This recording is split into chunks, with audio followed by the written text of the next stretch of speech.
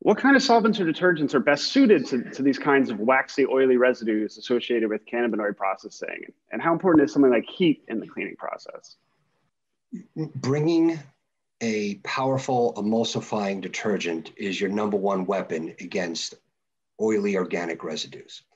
So, um, foaming detergents, emulsifying detergents, that which foams is, is a better emulsifier, are for manual cleaning activities, scrubbing, soaking, ultrasonic.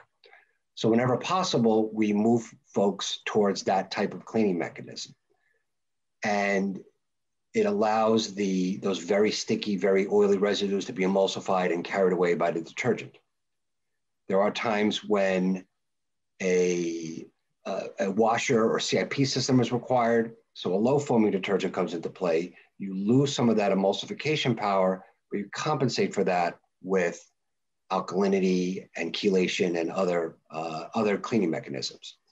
Heat in this industry is vital in certain industries, as for example, the cosmetic industry, heat can actually work against you because some things get more difficult to clean with heat. But for the vast majority of organic residues, heat expedites cleaning.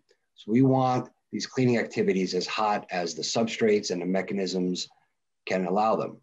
Uh, 180, 190, 200 Fahrenheit or 80, 80 C thereabouts is going to be really effective in helping these residues get softened, emulsified, cleaned, carried away in an expeditious manner.